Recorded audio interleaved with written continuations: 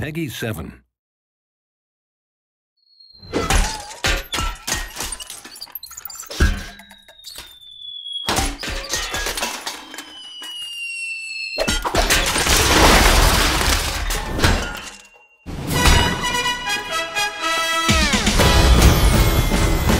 Bit of exercise to keep in shape.